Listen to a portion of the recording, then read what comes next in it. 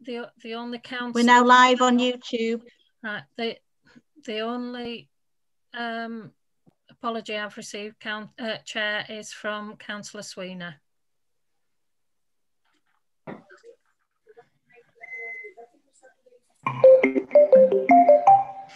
Chair, can I just tell you that I have another meeting I've got, because they've been rearranged, I have to leave to seven, seven o'clock. Councillor Carter. Thank you, Councillor. I am uh, just working on bringing up my agenda on this uh, on these new on this new system because they appear to have disappeared.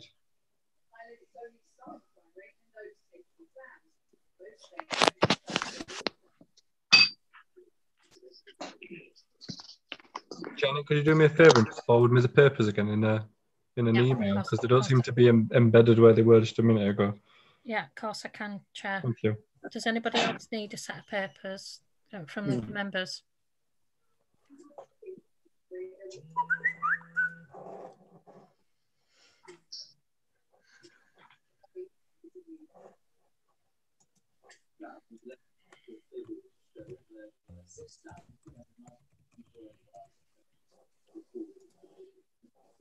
Did we have anybody um coming to speak on our other item?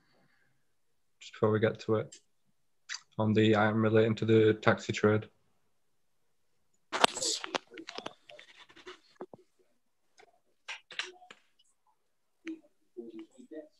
Chair, I've just forwarded you the agenda on an email. Thank you. Yeah.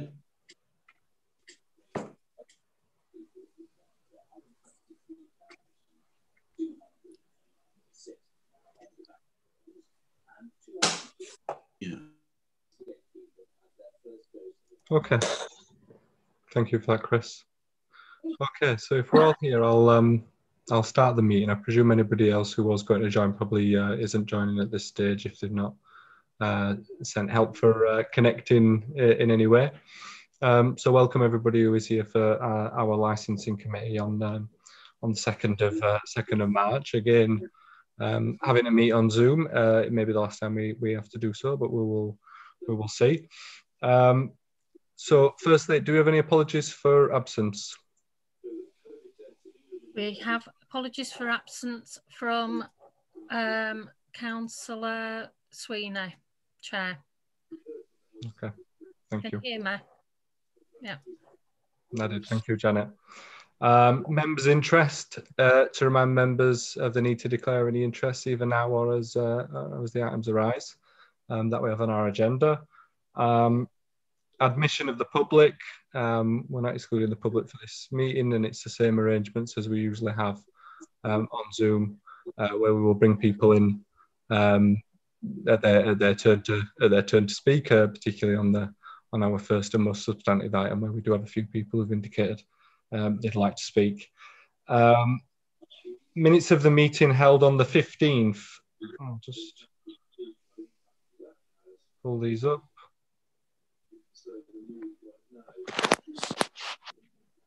So back on the 15th of September, we met. Uh, are people happy of, uh, uh, that they're a correct and accurate record? Yes, Chair. I think uh, Councillor Allen's moved that, I think, uh, and then Councillor Lambert seconded to help for the minutes. Um, and if there's no uh, disagreement, I'll consider that, that um, passed uh, as an accurate record. Um, okay, so our first um, our first item uh, tonight is the uh, the license for um, Del Salsa Club. Um, officers have prepared a report. I'll um, hand over to officers, whoever's going to lead the presentation on on, on this one. That's something I can, I can start. Thank you very much, Chair. Um, um, the, this is about the, the application for the renewal of the sexual entertainment license for La Salsa, which is uh, 24 Silver Street, Halifax. The renewal application um, was uh, taken uh, from the applicant on the 20th of November 2020 and was open to consultation from the 23rd of November uh, 2020 and was, uh, was consultation to the public and responsible authorities 30 objections were received. Um, police and ward councillors were also consulted and no objections were received. The current licence expired on the 12th of December, uh, but the application uh, was bought, uh, well, is based scheduled to uh, come to this meeting today. Um, so the, um, the establishment has been permitted to open pending a decision, but it hasn't opened as a, a sexual entertainment venue since March 2020 due to the pandemic. Um, as you'll see as part of your packs, there, uh, there's guidance uh, given for refusal of license, which is under 5.1 of the council's uh, licensing of sex establishment, which is in appendix three of your pack, and also the uh, home office guidance for sex establishments. Um, so looking today for a decision to uh, grant license, to grant license with additional conditions or refuse the license. Thank you, Chair. Thank you very much for that, John. Um, I want you to also take the opportunity to, to uh, introduce yourself in your new role for anybody who doesn't know you. I'm not going to let you slip through without, without doing that. Thank you very much, Chair. Yes, but uh, my name is John Beecroft Mitchell. Um, I'm the new Senior Partnership and Enforcement Officer for the Council, and I'm now, I suppose you say, uh, replacing uh, Fiona Goldsmith, who used to have this role. So this is my first meeting. So uh, hello, everybody. Thank you, John. I'm sure you'll enjoy your first meeting. Um, do any of the other officers wish to wish to give a comment before we, we get in or give a comment perhaps on any of the particular statements in the objections? No, thank you, Councillor. No. Okay. Um, so I would understand that we would wish to invite the, the objectors to speak first in terms of the correct procedure. Someone give me a nod. Okay. Chris? Yes? Objectors yeah, first? I agree with that, Chair, yes. Yeah, okay. Um, ha have we had an order in which they've uh, registered with us, uh, Janet, and I will uh, call them in that order if there's not a, a, a better order preordained?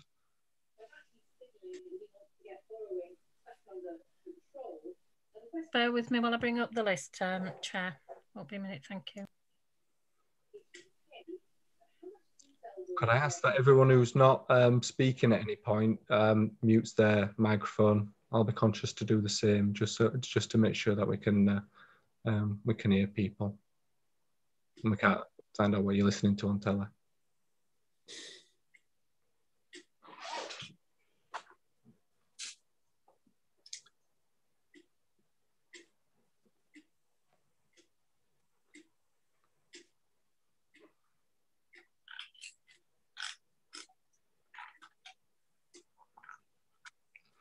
So while we're um, waiting for the um, waiting for the objectors to speak, that does remind me this would usually be a point at which we would invite um, members to ask any questions of officers at this point from what they've read in the report. So whilst that list is coming up, do members have any questions that they wish to um, that they wish, wish to raise at this stage? I mean, we'll come back to this again once the objectors have, have spoken, which will perhaps draw out some of the pertinent points.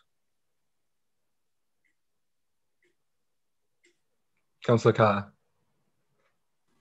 Can I just ask a simple question really? Is there any is there any pertinent new information on this application than there was on the last application? No point in me asking. Oh.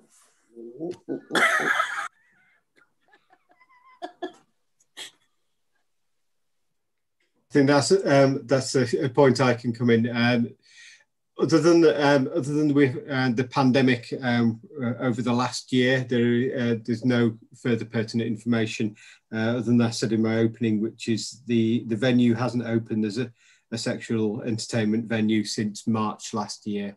It has opened uh, as a an alcohol uh, licensed venue in the meantime, um, as restrictions have allowed. There's no there's no new legislative stuff from the last application. No. There's no more law. No. That's all I needed to know. Thank you very much. Derek did very well, nodding his head.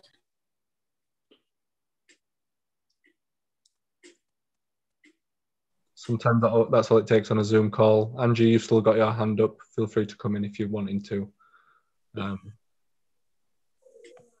Uh, no, thank you. Uh, can, uh, Councillor Carter um, basically asked the same question as I was going to um, ask as well. I was just going to add a comment, but not to worry. I'd rather listen to the objectors beforehand. Thank you. okay, thank you, Councillor Gallagher. Um, Janet, do we have a list then? Yeah, through you, Chair. I've sent you the, I've, I've sent you an email with the list on. If you've got your emails open, if not, Yeah. I can read them out. It's okay. I'll uh, I'll I'll pull this up. There are thirty Um, of them. Ah, now d- do we do we know which which ones have indicated to speak? Because I'd rather not list everybody's name who has objected. Uh, we, I sent you through some emails yesterday of people who sent questions in, Councillor Yeah. Sutherland. Okay. Um, all right, then we'll, we'll start with um, Chris Green um, as you're in the room already. So, um, Chris, Okay, I'd like to invite okay you to with the that? committee. got it? You've got me? I can I can hear you. Um, you Perfect. don't have, yeah, Yep. through your Chair, if the, if the objectors do not wish to reveal the, them themselves in person, they are quite, um, the, we are quite happy for them to remain as a picture or, or just as their name on the screen. There you are. Yeah. Thank you. Thank you, Janet. It was not deliberate that I was not revealing myself. It was okay. Um, it's interesting that um, we feel that there's no additional, no new information because I think there there is particularly. I mean, the two things strike me as new new parts of information. Uh, the first is that an authority which has, if you like, um, a historic link to entertainment, like Blackpool is now working towards having zero sex entertainment uh, establishments. And I think that's a major move forward. Um, and if they can see their way to doing it, and if they see no legal obstacles to doing that, then I find it strange that Calderdale finds it appropriate to still grant licenses. Um, that's in addition to the nearly a dozen other local authorities that have no problem with having uh, established a zero limit.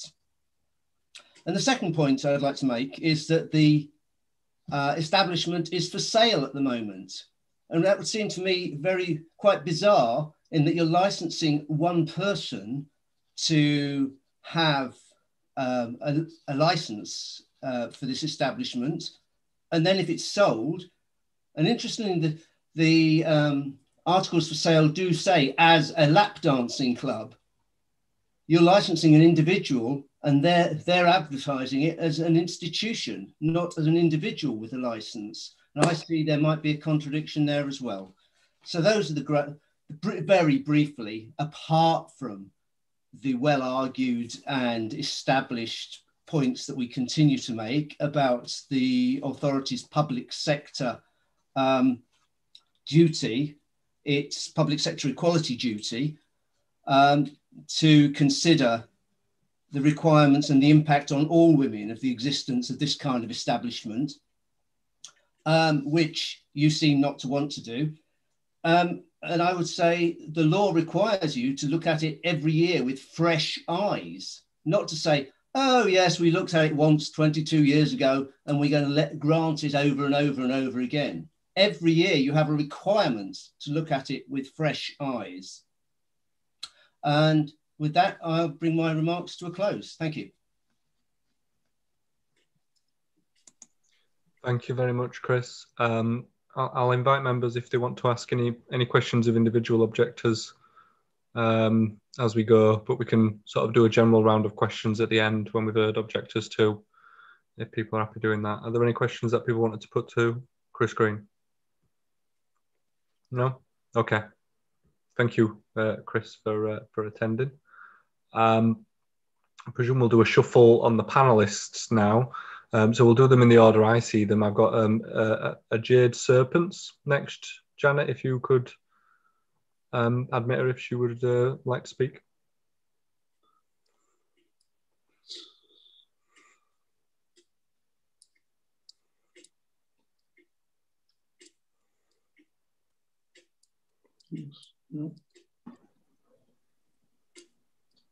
Hello, can you hear me? Hello. We can. Hi. Um, I haven't got a question to ask as such. Um, I actually submitted a pre-prepared PDF document to um, is it Tilly Chapel, um, as requested over email to submit my questions beforehand. Um, I was merely attending as a panelist uh, just to be sure that this document had been brought to the attention of the councillors. Okay, thank you very much. Thank you very much, Chair. Well, if you if you've got um, nothing further to add, I know our members will have uh, will have read the document. I'll um, thank you for coming forward. I'll check if the other if the other participants who are in the who are in the waiting lobby do want to speak. Would you just give me an indication in the chat so that I'm aware that you do want to speak? Um, and then I'll invite you on the basis that you've popped up. Ah, well, there's a very affirmative yes from uh, Sasha Rakoff. I hope I've pronounced your name right. Um, so, Janet, would you be so kind as to remove panelists as as well as adding new people on? Saw you as I saw you as uh, well, Ma- Mara. Um, sorry to put you on the basis of a, a, a speed typing test on the basis of your order, but it seems as good as any. Um, Okay, Sasha. Um, I think that's I think that's us reordered. So um, uh, if you want to address the committee, I'm uh, happy for you to begin when you're ready.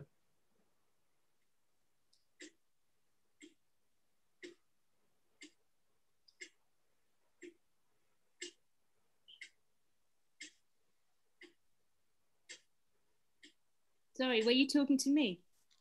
Yes, I was inviting you to address the committee. If you want to take um, Oh, a couple of minutes time to to give your uh, to I, I got totally cut off then. Wasn't somebody else speaking just now? No, they'd indicated that they didn't want to speak, and you were the first. You were the first Oh, one to pop up in the chat saying yes. So yeah, I've dropped you straight. I've dropped you straight in it. Oh, right, okay.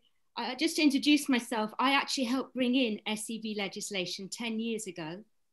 And since then, I've been involved in two successful High Court cases against one council for breaching equality law in its pro strip industry stance. So I feel I have some understanding of what I'd speak about.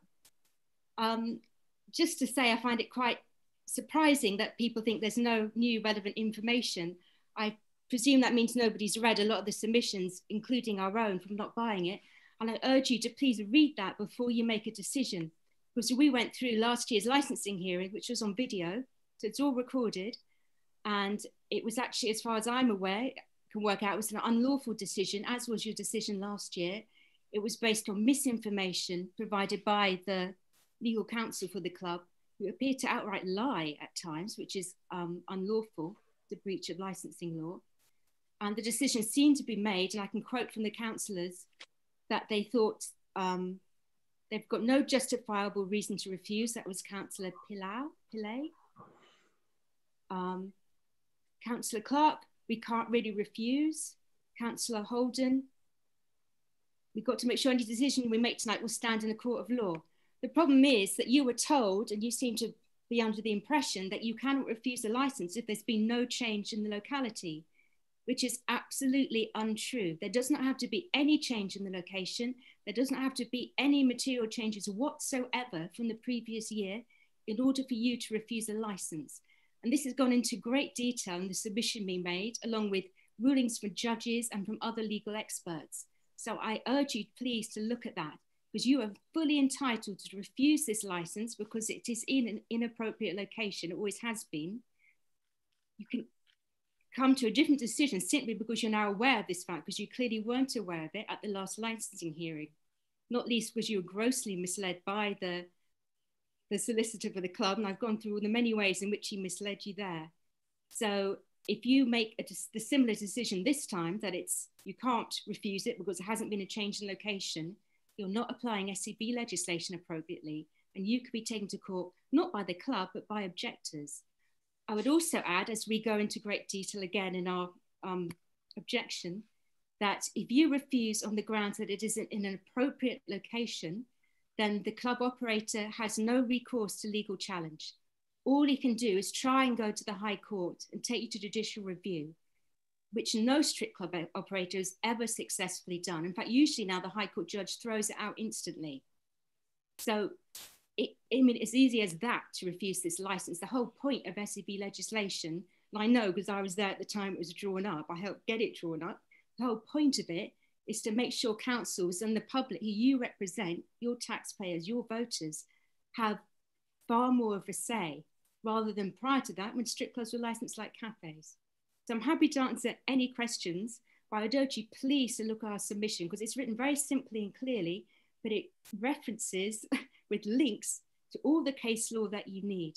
Oh, I would also add that you can, you're also supposed to look at any potential future change in location and other circumstances. So obviously, I presume the location is going to change in the near future. There must be shops and so on that have shut down. So the locality has changed. There's also going to be a very another serious change, which is that the women working in that club, when it does reopen as a strip club, are going to be absolutely desperate.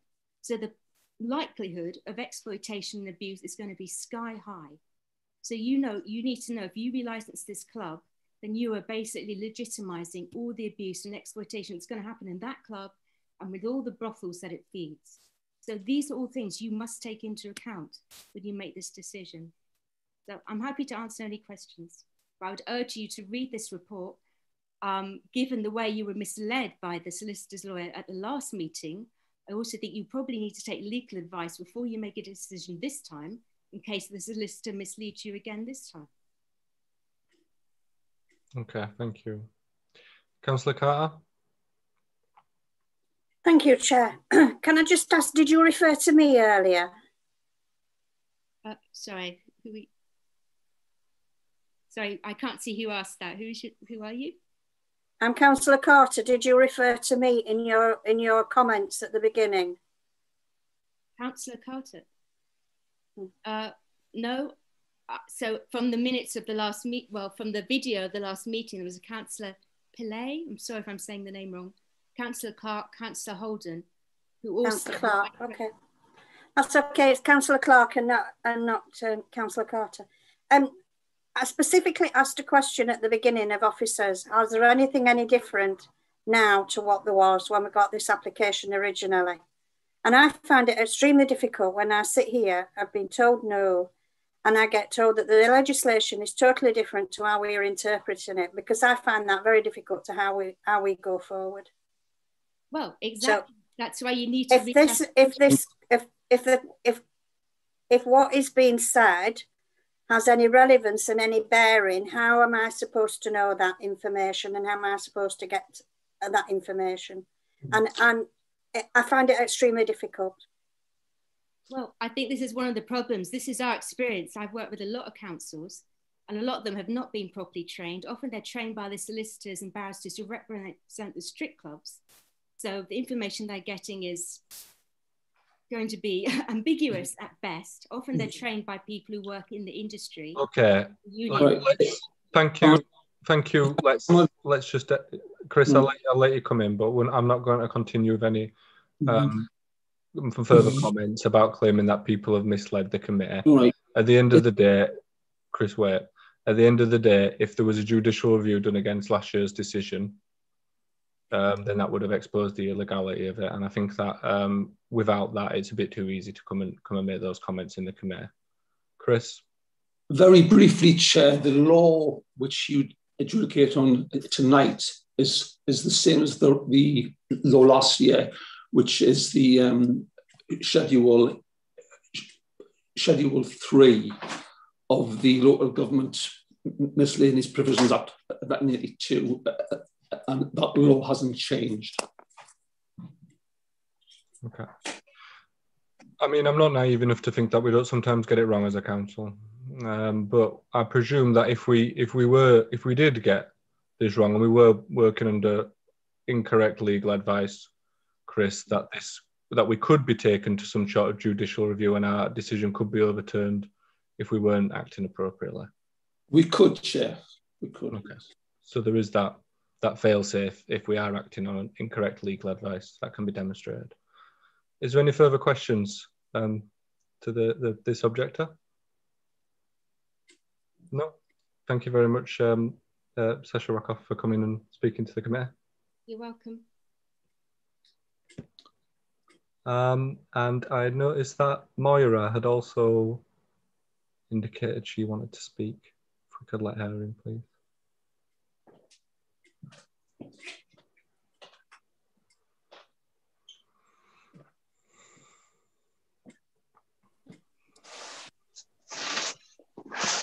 Hi, am I okay to start now, Councillor Sutherland? Absolutely, Moira, whenever you feel. Thank you very much. Thank you very much. Yeah.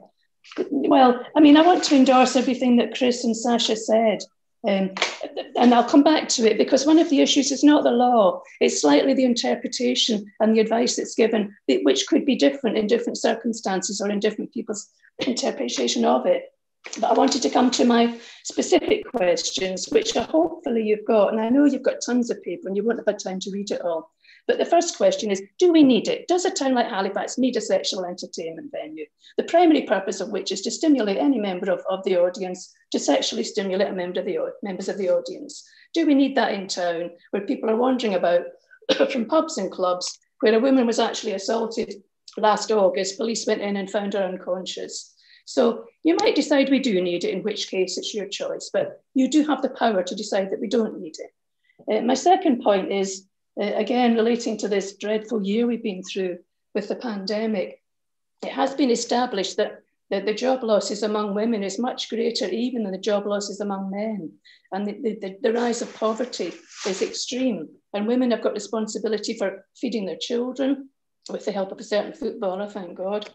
Uh, and so we have to think about the pressures on them to enter fringe industries or, or directly up to and including uh, the sale of sex. And that's been happening, and there's evidence of that. So I think we need to consider that as part of the context in which we're operating now, which is different from last year. And the third one is the, the character of the applicant. And this is one of the things that's slightly difficult because um, I think some, uh, somebody put in, I think it was Jade, a list of all the, the, the excuse me, the prosecutions, the closure of the Huddersfield Club, etc., that relate to this applicant. Now, year after year, and I have been coming along for a long time, and uh, you know it does get tedious. But every time I've raised things like that, I've been told you can't discuss that. And then a few years later, uh, well, we can discuss it, but it's too late now because it's not relevant because it was years ago. So there is a question of the advice, the way the advice is given, and whether it's strictly you can't discuss that or you can discuss that. My final point is about the, um, again, relating to the character of the applicant. I have provided, I think for about the last three years, uh, evidence that uh, this applicant has had uh, money confiscated under the Proceeds of Crime Act. Now, I mentioned it about three years ago as an article in the Asian Times, and I was told by the applicant's solicitor that that was not true. That was completely not true. Last year, I actually got a confirmation letter from the PCCs through an information, their information officer, saying, yes, it is true. This is the amount of money that was taken, and it was at the Magistrates Court in Wakefield, uh, and it was seized under Proceeds of Crime Act. So that is something that's quite debatable. We were told that it wasn't true. And then we were finally told last year, having accepted that it was true um, by, I forget which solicitor, that this council doesn't need to take any account of the PCC. Well, I find that really hard to believe. It's not whether you need to take account of the PCC or not, it's that this is a fact. And the West Yorkshire Police and Crime Commissioner said, once again, this highlights good job by, work by West Yorkshire Police. Detective Constable Tony Chapman of the Calderdale Proceeds of Crime Act said, this is another example of how we can use the Proceeds of Crime Act legislation to ensure that cash obtained dishonestly is paid back. We would like to encourage members of the public to report those believed to be living beyond their means. He was confiscated, he had 117,000 pounds confiscated. That is a fact. It's not a matter of opinion. And whether you need to consider the PCC or not, factually or legally, that is a fact. So I think I'll just stop there and leave it with you. I know you won't have a time to read everything because there's too much and it's impossible. But please think very carefully about all those factors.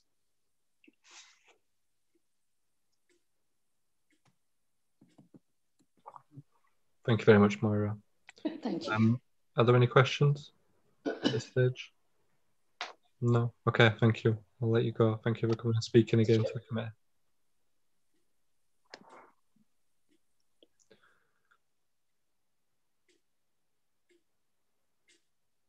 Okay. Um, well, at this stage, if there's no questions from councillors, um, I'll um, invite invite the applicant. Oh no, I think we've got two. So wait a second. Know that you're coming after a couple of questions. Um, Councillor Lambert and then Councillor oh, Councillor Gallagher. No, thank you, uh, Chair. Uh, we asked earlier, uh, was there any changes uh, to any of this? And after listening to the two um, um, speakers of the uh, people opposing, is there any any any significant? Is there any police reports? You know, it'd be interesting to know what police reports in terms of um, like for like with, say, Yates's. Has anything changed in terms of exterior? You know, this is what I'm asking for. And I'm also asking, have we got any of the people that are employed there, there here to speak on behalf of the club? Well, we seem to have the opposers and not the ones for. We've we've got we've got the applicant. I think that might be his manager who's in attendance with him, Bobby Joe. I think we've seen we've seen before, so I don't know if they might both intend to intend to speak. Um, I'll bring Councillor Lambert in, and then I'll let officers pick up pick up that point around whether there has been anything in from West Yorkshire Police. Thank, thank you, Chair. I, I, was just going to raise exactly the same point as uh, Councillor Carter raised. I do feel very, very, uh, very unsure about being um, actually sat here tonight making a decision and having um, allegations raised that uh, is it Saskia that that she raised. I really would like to have some uh, a bit more of a detailed conversation really with our with our um, legal team about this really. Mm -hmm.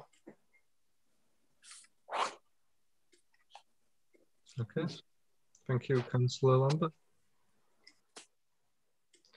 Um, have we had anything in from West Yorkshire Police? Chair, for me, um, it, there's been there were no objections from West Yorkshire Police to the application. Okay. Thank you. Okay, well, I will um, I will invite the applicant um, and is uh, his manager or representative to uh, to address the committee. As when you're ready.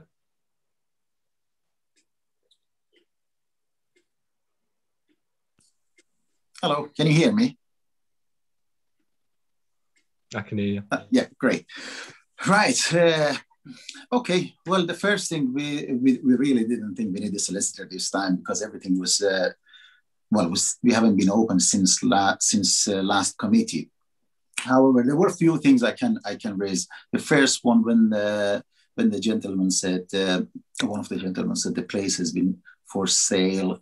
Yes, it's been it's been uh, for sale, but it was the building. It's a building been for sale for nearly ten years now, but not the business. That's basically uh, one thing I wanted to clear. Uh, regarding the regarding uh, our venue. Again, probably you all know, but we've been open since 2000. Well, this is 19 years now. We've been open in that location uh, since we started, and uh, basically there was no report of any any police report. Nobody has ever got into trouble because of us, and basically it's one of the safest places in town if you can, if you want, you can, you can actually uh, get some more information from the police because this is one of the places that we don't get that much of a trouble whatsoever. People are coming very polite. Our, our performers are well trained by the manager and by our experienced staff. Uh, we dancers are even getting trained how to talk people, how far they're standing, what even the words they are using and from other hand we don't have a, we don't have that many of the freedom of like like other ones like like restrictions on the on the dress code we have over there. So it's more like a cabaret. It's not uh, and when it's, it's quite insulting when when when some of the uh, members well uh, uh complain. Some some objectors are talking about selling sex and things like that. It's just a cabaret just a show bar with no touching everybody are very professional, and uh, and to be honest, no changes whatsoever. There was another question about about the changes. There was no changes whatsoever. Uh, last year, you had you, uh, you had my uh, uh basically uh, records with the police and everything. Everything was clear, and I, and I I don't know if I if I need to explain things again and again and again every year. But uh, I have never ever been convicted for anything. It's whatever it was, it was an argument over over, over a tax about four five hundred thousand pound that I transferred here to. Uh, uh, but anyway, I don't know if you want if you want me to explain things. I don't know if, if it's the right thing because that wasn't even a criminal matter. Yeah, uh, that was just a that was just a over over transferring money. If it's anyway, I'm not going to go to details because it's more technical. Uh, oh, my records are clear. My manager's records are clear. 19 years, no problem whatsoever in the town. Obviously, police can vouch for that one. Licensing can can they? We get regular uh, visit from the from the council uh, licensing department of the council. And if there is any question, I can ask. So, to be honest, I didn't think it's going to be, uh, you know, it's going to be a big deal regarding explaining things because it's nothing has changed since since last committee anyway. But anyway, if you have any question, if you have any question from from Bobby Joe, because she's she she's in a day to day contact with with the with the training, uh, staff training, and uh, and customers, and basically we record everything. Everywhere is uh, all club is covered by CCTV. Anytime any members. Uh, they can come and visit. Obviously, licensing can come and visit. Uh, so it's been clear as a whistle, everything. So it's just simple as that. Is is uh, and nothing not, nothing changed in 19 years basically. Thank you.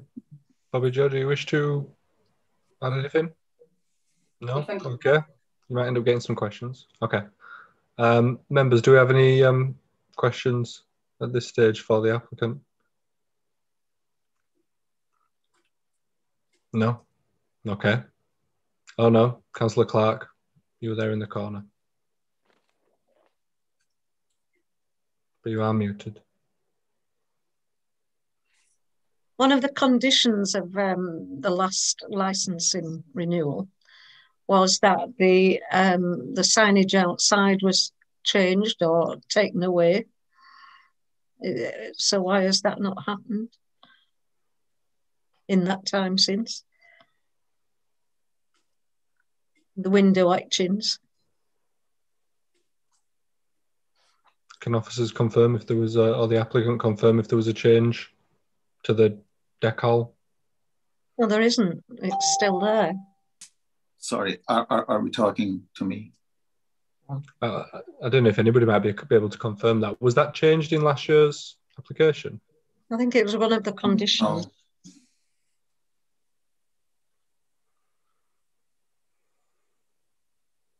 I can't say I recall that. I don't know if the uh, the officers have the the report from last year to hand, or or it presumably would be in the existing conditions. That's what I'm just trying to. If a change was that like that was made, but I don't recall. Councillor Gallagher. No, I was just going to say, uh, thank you, Chair. I was just going to say it would have been in the minutes, and I can't remember anything about the decals. Um, thus, me uh, specifically mentioning the exterior of the uh, property. There's more offence in other establishments than what I can see on the exterior of La Salsa. Mm. I mean, if if I'm just trying to find the last one, last one, yeah, it's okay.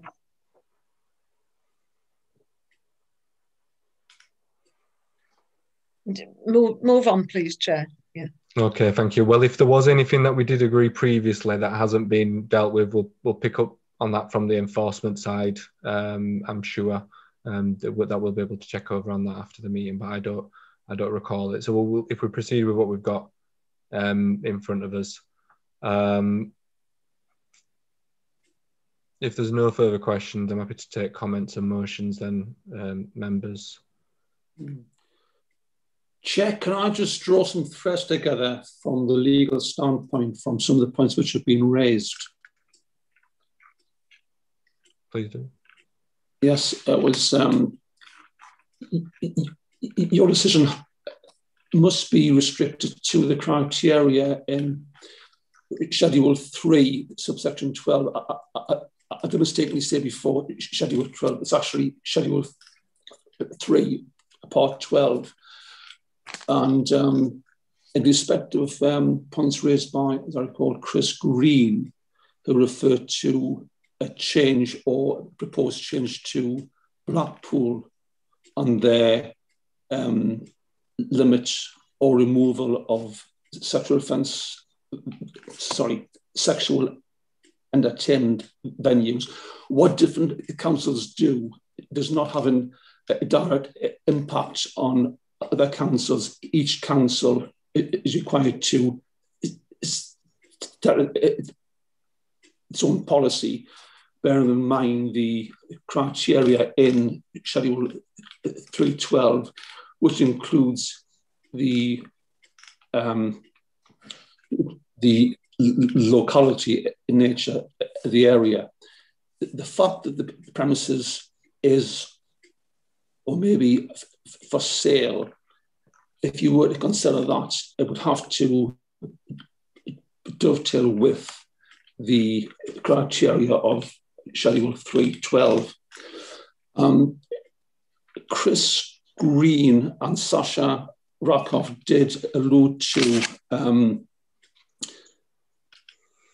a decision based on no change. This has been referred to in case law, which is quite well established.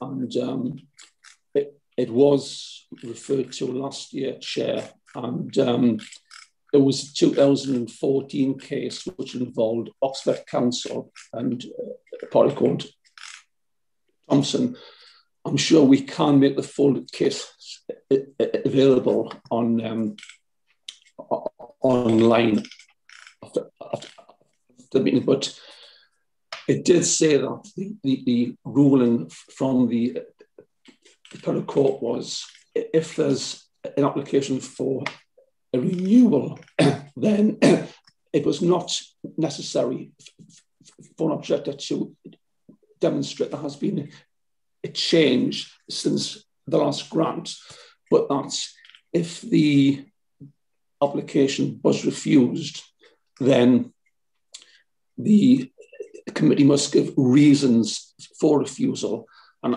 and have due regard to the fact that the license has been previously granted. Um, in respect of the points raised about the character of the applicant, um, the guidance from the Home Office is quite clear that we have a, a one point of contact, and that is at um, paragraph three two. Excuse me, I check that point.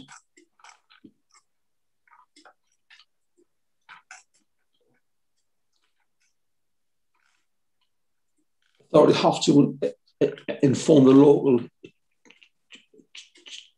chief officer of police as to an application and the, the, the local chief officer to Calderdale is West Yorkshire Police. West Yorkshire Police do have the relevant access to the databases, uh, Police National Computer DBS, etc. So therefore, the police are the person we go to for checking of the um, character of the applicant. The police and crime commissioner is a separate body and wouldn't have access to the resources which the chief constable has. Thank you, Chris. I see uh, Councillor Carter has indicated. Mm. Chair, thank you very much. Um, the more that one attends these meetings, the more that one gets confused. Um, 5.2 uh, within Calderdale's um, papers, Appendix 3. It talks about relevant locality for uh, a license can be refused under various issues. But what it does specifically say that it's a decision on an application will be based on its assessment of the character of the locality at the time of the application is determined, and this may include any developments in progress. And there is nothing within this, within this policy that I can see. If Christian found it from it, then okay. But there's nothing that I can see in this policy that says that you have to take into account anything at all that's been done in previous times. Each application is judged at the time of a, a, a application, not on, because it actually does say if the sexual establishment venue is located or is to be located. It, it is it distinctly says in our policy it's, it's relevant at, relevance at the time, not as what has happened in the past or what what might be going to happen in the future. And I'm finding this little bit of an element very Confucius. I'll be honest with you, I've taken some more legal advice today, and I've been told under that legal advice, you cannot take it, you have to take it as it is there now. And it's actually wrong because that is not what our policy says. So, what is right? What is wrong? I'm not bothered which way is right or wrong, but we can't have a policy that says that it's that each application is treated on its merits at the time of, of submission and being advised by by the solicitor that no, we have to take into account other things and it's not just about now. And that's why I find it extremely difficult, Councillor Sutherland. It's not about, it's about answering the points that are being raised to make sure that I am making the correct decision on the correct information that I've been given at the time that I am supposed to be doing it. And whilst I've said all that, as you know, I have another meeting at seven o'clock and that sounds going to look as though I'm now copping out of any any responsibility. And actually, it's not about that. The day's changed, and if it had been yesterday, it wouldn't have been an issue. But I already had a diary meeting at seven o'clock today.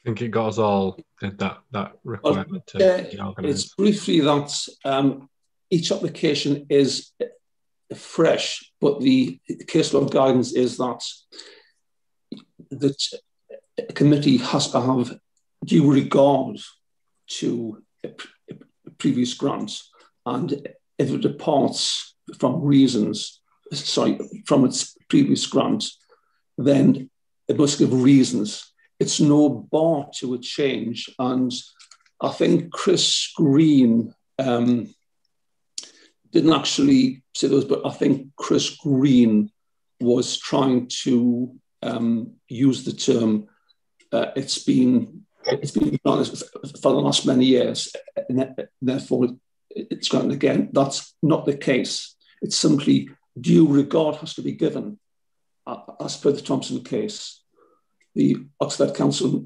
Thompson case, and reasons have to be given if there's a change. But you are not stopped from changing a decision, Chair. Why does it say in our policy that we have to take into account case law? Because how the heck am I and any other person going to know what case law is? And I find well, it if there's if there's a if there was a piece in there that said that we should also take into account an irrelevant case law appertaining at the time, then life would be a heck of a lot easier. Hmm. But uh, we are where we are, I guess. Chair, um, case law is the law of the land, as as um, acts of parliament are, and natural justice would dictate that case law and statute is taken into account in every decision made by a council. So it isn't something, Chair, which has to be put in a policy. It's simply part of, it's in the DNA of natural justice. Thank you for that. Um, Councillor Gallagher. Thank you, Chair. Sorry, everybody. Um, what I was going to suggest um, in terms of the case law, Councillor Carter, I was going to suggest, if at all possible, that Chris could possibly just give a brief outline as just how important that the case case studies are. But you've already done that, Chris, and thank you very much. That's all I was going to say. Thank you. Um, I can the just briefly, the case was our application of Thompson Oxford Council 2014. and the main thread of what I advised you was in paragraph 30 for the judgment. And um, I, I can have the entire judgment circulated or the reference because it's it, it, it is public.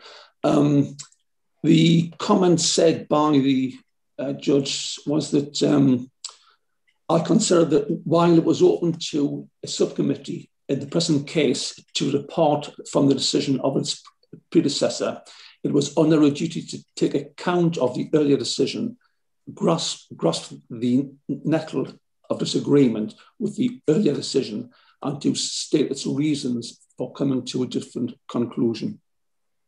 That's the thread which runs through that case, Chair.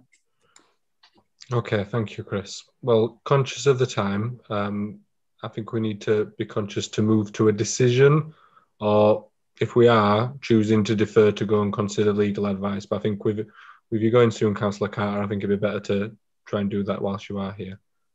Go ahead, you got your hand up as well. I think I was just going to say I think everything's been answered. We we in the submissions from some of the objectors felt that we did not take into account various things that had happened. We were not taking the right advice there were issues around all that. And, and I think that that has been answered by Chris's um, comments to uh, in the last few minutes. So um, I, I just wanted to thank Chris for, for clarifying what that is that we've not taken into account, that actually we have taken into account.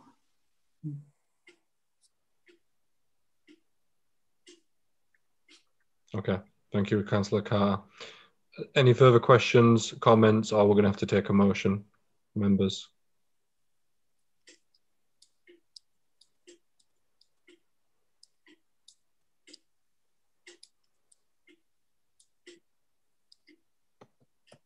No more wishing to put forward a motion. We appreciate this is a very difficult one that we have to deal with every time. Um,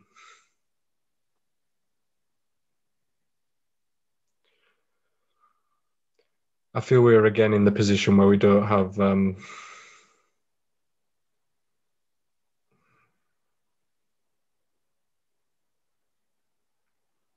I feel that the mood of the meeting is clearly not enthusiasm for the application, but as I'm failing to hear uh, an alternative or a motion to refuse and give a reason for it, then we do need to move forward. So if no one else will put forward a motion, then I will put forward the motion to approve the application. Do we have a seconder? Thank you, Councillor Gallagher. Uh, will all those in favour, oh, is there any alternative motions? If anybody wants to put one forward? No. Will all those in favour please show? And those against? Okay. That's carried. Thank you, and thank you for everybody uh, who attended the meeting for that item. Councillor, we also need anybody who's abstained. So I presume the others have all abstained. Yeah. Well, happy that you've confidently abstained. Okay. Thank you. We Don't normally do abstentions, do we, Chairman? I'll leave that to the committee section to decide on the minutes, and we can discuss the minutes next time. I'm not uh, okay. going into that now, but um, okay, thank you.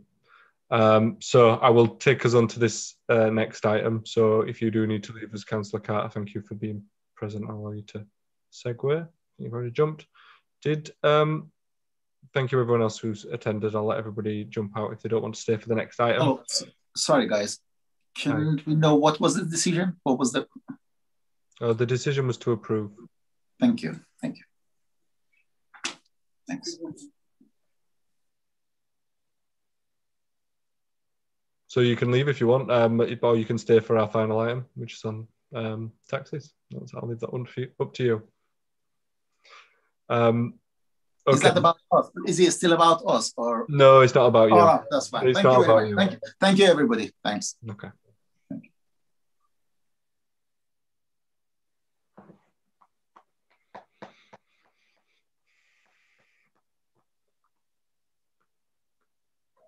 Okay. Um, are we all settled in terms of the reshuffle? Uh, and I know Councillor Peli was hoping to get into the meeting. So if he if he was still actively trying, does anybody know? Mm. No. His internet was down. He did he did call me to send his apologies, and if he can get back on, he will. Okay, I think we shall just pr proceed. Um, John, are you starting the presentation on? Um, Yep, on no on problem. report. Well, I'll, I'll hand straight over to you if everybody's happy for us just to get straight on and and get uh, and get into that one. No problem, uh, no problem, Chair. Um, thank you. Uh, this is in relation to a, um, a statutory guidance um, which has been uh, received from the um, Department of Transport in July last year. Um, it, in the paper, and I don't, I don't wish to go through in detail because it actually it's, it's a quite a hefty document, and uh, the report that Fiona produced actually does highlight some of the key points.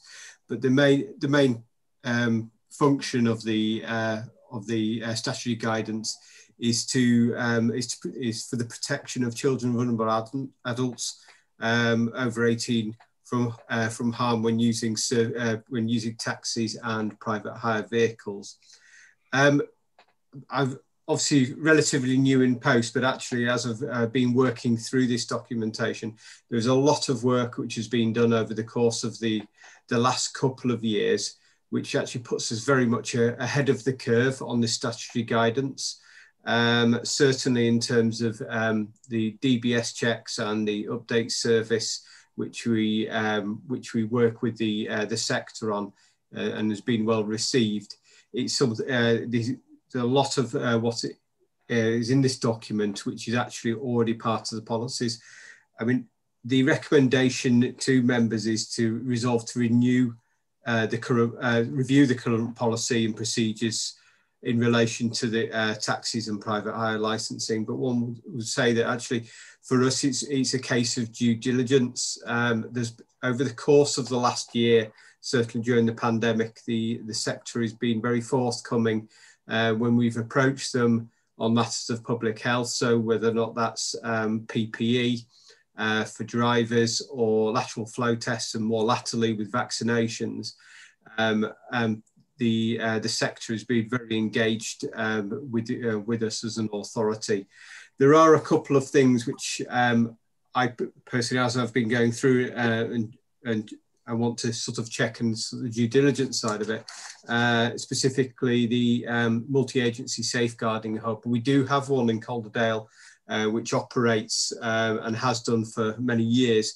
I just want to do the due diligence that licensing is actually part of that, um, um, as part of that hub. And also, I think um, as a partnership, um, we're, we're exceedingly good at um, working with other authorities in other areas, and that's certainly over the last, well, certainly over the last year, um, my work, which um, prior to coming here was in emergency planning, we worked very well with other authorities as matters of the, um, in relation to the pandemic and other emergency matters. But I think I just want to check that um, part of the recommendations here is the sharing and licensing information with other authorities. And one thing that part of the due diligence I would like to do is to ensure that actually that the National Anti-Fraud Network and developing their register is where we are with that and actually how that can be incorporated in, in our policies. I think I think Derek wants uh, wants to sort of come in on this, but I think it's really it's there's been a lot of work done over a number of years. We're ahead of the curve, but also we're also coming out of a pandemic, so there will be lessons learned that we can pick up out of the back of that, which would feed into any sort of future changes to the policy. I don't know. That, that's it from me. Thanks. Thank you, John, and um, welcome, Councillor Peli. Uh, thank you for your perseverance in joining us. We would, John was just giving us um, uh, the, uh, his update on the second and final report. So just so you know um, where we are. Thank you for joining, and I will I will take um, uh, John up on the suggestion to answer Derek, who I know has done um, well ever since he came into uh, post working working in this field has done a tremendous work with the taxi drivers. But over the past year, with an enforcement hat on and um, working in partnership with the trade, I think it's I think we've seen a flourish. I think we've got to the best state of the relationship it's been in years, and um, I think actually that's that's come from uh, a bit of give and a bit of take all round, and we've ended up in a much better place. I know Derek's been uh, leading on a lot of that, so I'll, I'll hand over to you, Derek, to uh, comment a bit more on, on the report and on other matters. Thank you, Chair. And uh, I'm conscious of the time, so I won't say too much, which is unusual for me. Uh, what, what I will say, though, is I do think that, first of all, thank you for introducing John. Uh, no disrespect to Fiona, and we wish Fiona all the best in her new post, but it's always nice to have a fresh pair of eyes come in and look at it. And I'm particularly keen to pick up on what John says about doing our due diligence. So I see this as an opportunity for us just to make sure that we do that due diligence and in particular make sure that those links across West Yorkshire are as strong as they can be. And I know, Chair, that you too have tried to promote a, a West Yorkshire approach when we can, and we've had some difficulties, not least COVID, in, in trying to do that. So I think that's a challenge that we've got ourselves really in the next uh, six months to maybe try and re-engage at a West Yorkshire level. I do also want to say well done and thank you to the previous management team and services that managed this area. Uh, Calderdale, again, I'm proud to say, took a leap uh, of faith, uh, worked upstream on the Louise Casey report that came out from the serious case review into safeguarding in Rotherham. And that led to uh, a really good partnership approach with uh, the neighbourhoods team, with the trade, uh, with the police, whereby online training and indirect and direct training was given to well over a thousand taxi drivers, and that training continues to this day. So, a lot of the recommendations we were ahead of the curve, as John says. We, we, we seized the opportunity and we've embedded them into our day to day procedures. But again, and I'm sure members would not want us to be complacent in this critical area, that John's arrival will give us an opportunity to do that due diligence. And uh, if it's okay with you, Chair, we will bring back any areas of concern or any areas where we feel that we've missed an opportunity based on the quite weighty uh, guidance and uh, uh, that's come out from the Department of Transport. And then if you don't mind me, Chair, just to just go off at a tangent, just to say uh, thank you for those kind words. I have to say that the relationships with the trade through this 12 months has been critical to successfully tackling the pandemic. Uh, we know that we've still got a long way to go, uh, but there is light at the end of the tunnel. And the cooperation and support we've had from the trade and the community and members in dealing with these unprecedented times, I think has been remarkable. And I think that has contributed to, for us to dealing with some really difficult and challenging issues. Uh, that's not to say we've still got a lot of work to do. Uh, I'm sure there will be areas that we want to revisit. And I do think it's important, Chair, that we look at our policy and current procedures in light of lessons learned during the pandemic. I think not only have we had to do things differently, I think there's things that we've done far more efficiently and effectively. And I think it's important that we take those lessons learned into any future practice. So, uh, sorry to go off at a little bit of a tangent there, Chair, but I'm hoping you give me a little bit of mandate to do that. But I just want to take this opportunity just to say that I think things have really, really worked well. But I also want to credit the work that was done back in 2015 in response to the Louise Casey uh, inquiry and the fact that we were upstream. Uh, again in Calderdale in, in, in dealing with this quite difficult situation. That's it, Chair. Thank you. Thank you, Derek. And uh, I think it absolutely is a good opportunity when we've got a report like this where we are a bit ahead of the curve. We should take that opportunity to to recognise that, but also recognise that there is there is more work to do if we want to stay ahead of that curve. I think we've seen um, in many ways a bit of a cultural change in terms of how the past year has brought us together. And I think people across communities have recognised how taxi drivers, amongst others, like in supermarkets, have been there working every day, no matter what. Um, and I think it's maybe changed some perceptions of, uh, of, uh, of, of, of, people. And I think that, uh, you know, it's definitely perhaps worked with the trade. And I think people have recognised that, especially people who maybe lost the usual bus route and uh, have come to have come to rely on on taxis at a, at a time uh, when when a lot of other things have been in in chaos. And um, I think that by working together, we've often maybe used the stick quite a lot as a council, but actually there's been a bit a, a, a lot of carrot and a lot of opportunity to work together. And um, this is a group of people who've worked very hard during the past 12 months. They've worked with us. I hope we can keep thinking as a council about how we can support them um, support them to keep keep going economically viably. Um, but also on other things. I mean, we've talked about CCTV um, in in cars before, and I know that that's a big ask for the drivers. And I know I often wonder from a from a perspective of some of your other objectives, Derek, as to what the what the value of some of that might be as part of a as part of a stronger relationship with the trade. Um, because when that relationship is there and it's good and you've got that information flowing, then the stuff in these policies is the is the bare bones and what really brings it to life is is having that information and, and, and that link and relationship to, to share uh, and, and and to understand where where one another is coming from um, any comments or questions members no well, if anybody if nobody wants to come in then i'm quite happy for us to go on and council Pillai. Chair, all I'm going to say is I'll echo the sentiments that you have just said uh, and to add under the difficult times that we've had for the last 12 months. And I think uh, credit to all concerned, including the officers and the trade uh, for the system to have progressed this far. I'm very satisfied. Thank you. Thank you, Councillor Pillai. Okay, well, I will um, I will move. Um, I will move the recommendation. It does have a blank date on it.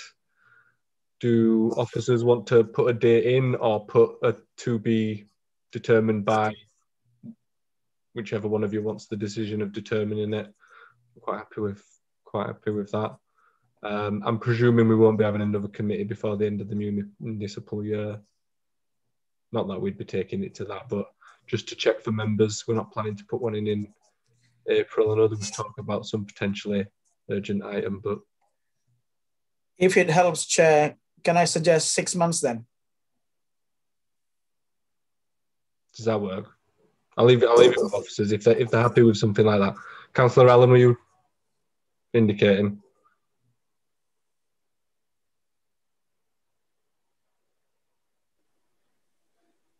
Yes, Chair. Thank you. Uh, yes, I totally agree with everything that Councillor Pillai has said. Um, both himself and myself, we've been on this committee for a long, long time. I think I feel we're part of the furniture. Um, but I do totally agree with everything Chris has said. And yes, I, I would also recommend six months. Okay. So we've got a proposal there moved and seconded, I believe, uh, for uh, to to return in about six months. Within six months, uh, I'm sure officers will be able to manage that. Okay, if if if that's not you indicating again, Councillor Allen, I'm going to go straight to the vote. So, will all those in favour please show? Okay, I think that's carried unanimously. Um, thank you all for coming. Um, I will just stick in at the end uh, a thank you to Fiona Goldsmith, who has moved on to uh, another role in Kirklees Council, I believe. Um, so good luck to Fiona, who I'm sure is sat at home watching. Let's see. We'll see if she texts any one of us. all right. Not. Okay. All right. Good evening, everyone. Uh, nice to see you all, uh, and I'll see you all again soon. Chair, just as a matter of apologies for turning up late. No, thank you for persevering, Chris. I, it was beyond beyond my my control on this end. Take care, everybody.